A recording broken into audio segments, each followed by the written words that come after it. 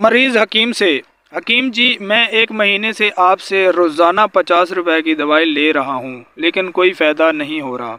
हकीम, कोई बात नहीं, कल मैं तुम्हें चालीस की दवाई दूँगा, दस रुपए का फ़ायदा होगा। या अल्लाह, ये जो बंदा मेरी वीडियो देख रहा है, वीडियो को लाइक कर रहा है और सब्सक्राइब पे क्लिक करके, बेल पे क्लिक करके, आल पे क्लिक कर रहे हैं। या अल्लाह, इस बंदे को हमेशा खुश रखना और ढेरों खुशियाँ अता फरमाना। आमीन। बीवी, अगर मैं पाकिस्तान के सबसे बड़ी चोटी के टू पर चढ़ने में कामयाब हो जाऊँ तो आप मुझे क्या देंगे? शोहर हल्का सा धक्का। टीचर ने पप्पू की माँ को लिखा बच्चे को नहलाकर भेजा करो। इस पर पप्पू की माँ ने नोट पढ़कर जवाब में लिखा, बच्चे को बढ़ाया करें, कुत्ते की तरह सूँगा मत करें। एक आदमी की सुबह सुबह बीवी से लड़ाई हो गई। दोपहर को शुगर ने फ़ोन करके बीवी से पूछा, आज क्या पकाया है? बीवी गुस्से से ज़ाहिर, शोहर, प्यार से डार्लिंग, तुम खाकर सो जाना, मैं देर से आऊँगा। एक फकीर घर के पास आवाज़ लगा रहा था। कोई बाबे नु रोटी खवा दो, बाबा चावल भी खा लेंदा, बाबा आइसक्रीम भी खा लेंदा, बाबा बर्गर भी खा लेंदा। घर से आवाज़ आई, बाबा जुतियाँ भी खा लेंदा। तो बाबे ने कहा, नहीं पुत्र, सख्त गजा मना है। एक पठान साहब रेल का टिकट लेने खिड़की पर गए और कहने लगे हमको दिल बदीन के लिए एक टिकट लेना है। रेलवे क्लर्क काफ़ी देर तक दिल बदीन स्टेशन ढूंढता रहा, लेकिन उसे स्टेशन ना मिला। उसने थक कर पठान से पूछा कि दिल बदीन है कहाँ पर? पठान साहब कहने लगा, जी, वो सामने बेंच पर बैठा है दिल बदीन हमारा बेबी एक पठान मस्जिद में गया तो मस्जिद के इमाम ने उसे बहुत मारा। एक साहब ने मौलवी साहब से मारने की वजह पूछी। मौलवी साहब ने जवाब दिया, ये सुबह से चौथी बार आया है और बार बार पूछ रहा है कि चौदह अगस्त की नमाज़ कितने बजे होगी? एक पागल हर वक्त ये कहता रहता, गुलेल बनाऊँगा, चिड़िया मारूँगा, गुलेल बनाऊँगा, चिड़िया मारूँगा। एक दिन इसको पागल के डॉक्टर के पास ले गए। इसका इलाज किया। डॉक्टर, बताओ, अब क्या करोगे? पागल। शादी करूँगा, नौकरी तलाश करूँगा, घर बसाऊँगा, डॉक्टर शाबाश, फिर क्या करोगे? बच्चों को अच्छे स्कूल दाखिल करूँगा, इनके बर्थडे मनाऊँगा, शर्ट पंजामे गिफ्ट आएँगे, डॉक्टर शाबाश, फिर पागल। फिर इनके पंजामे से लास्केट निकालूँगा और गुलेल बनाऊँगा, चिड़िया मारूँगा। डॉक्टर, लाख दिल्ला ना तेरे ते।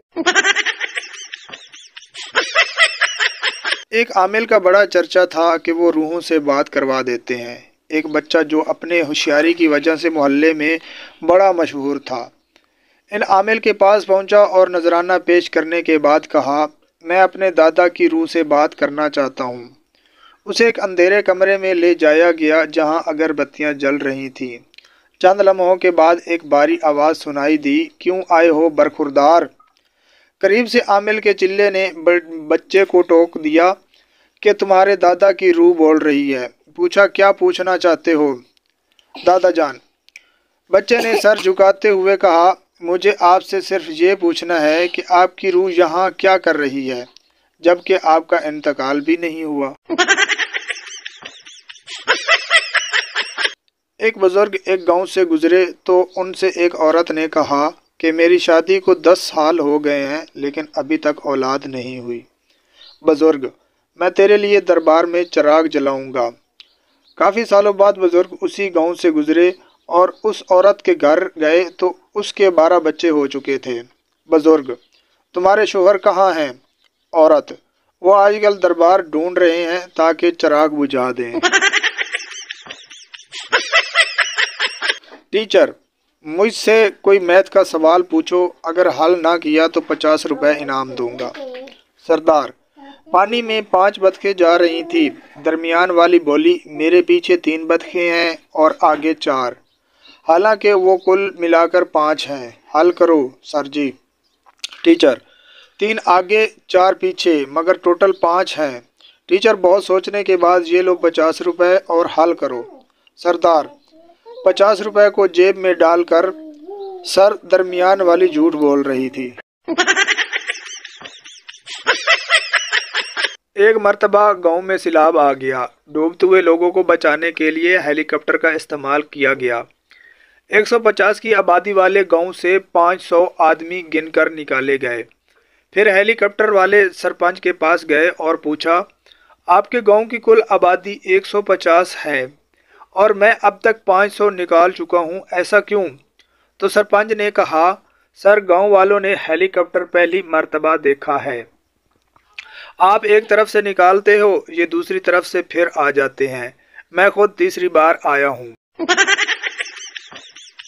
शाम को ऑफ़िस से थक हार कर घर पहुँचा, सोफे पर बैठ गया।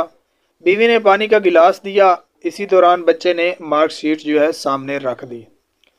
इंग्लिश में सौ में से सत्रह नंबर, उर्दू में सौ में से पैंतीस नंबर, मैथ में सौ में से चालीस नंबर प्लिंस में सौ में से सैंतीस नंबर और केमिस्ट्री में सौ में से बयालीस नंबर। आगे कुछ पढ़ने से पहले, बेटा क्या मार्क्स हैं ये? गते शर्म नहीं आती तुझे? निलायक है तू निलायक। बीवी ने कहा, अरे आप सुने तो। तुम खामोश बैठो, तुम्हारे लाड ने ही बिगाड़ा है इसे, निलायक। अरे बाप दिन भर मेहनत करता है और तू ऐसे मार्क्स लाता है। बच्चा खामोशी से गर्दन झुकाए खड़ा रहा। बीवी ने कहा, अरे सुने तो। तुम चुप करो एक लफ्ज़ भी मत बोलो। आज इसको बताता हूँ। बीवी अरे बीवी की आवाज़ बढ़ गई। मैं थोड़ा रुक गया। मैंने सोचा सुन तो लूँ ज़रा। बीवी ने कहा सुबह अलमारी साफ़ करते वक़्त मिली। आप ही की मार्कशीट है ये। अब बंदा क्या बोले? इससे अच्छी सिर्फ़ खामोशी ही है। सुखी घराने का फर्मूला बीवी देखो ना, हमारे पड़ोसी ने 50 इंच का एलसीडी टीवी खरीदा है। आप भी खरीद लाए ना। शोहर, अरे डार्लिंग, जिसके पास तुम्हारे जैसी खूबसूरत बीवी हो, वो क्यों कर फालतू का वक़्त टीवी देखने में बर्बाद करेगा? बीवी ओ आप भी ना। अभी आपके लिए पकौड़े बनाकर लाती हूँ। बीवी, आप मेरी सालगिरह दिन कैसे भूल गए? शोहर, भला तुम्हारे सालगिरह का दिन कोई कैसे याद रखे? तुम्हें देखकर ज़रा भी नहीं लगता कि तुम्हारी उम्र बढ़ रही है। बीवी, आँसू पूछते हुए, सच्ची, आपके लिए खीर लाकर आती हूँ। शोहर बीवी में झगड़ा हो रहा था। बीवी, मैं पूरा घर संभालती हूँ, किचन को संभालती हूँ, बच्चों को संभालती हूँ। तुम क्या करते हो? शोहर, मैं खुद को संभालता हूँ तुम्हारी नशीली आँखें देखकर। बीवी, आप भी ना। चलो बताओ आज क्या बनाऊँ आपके पसंद का।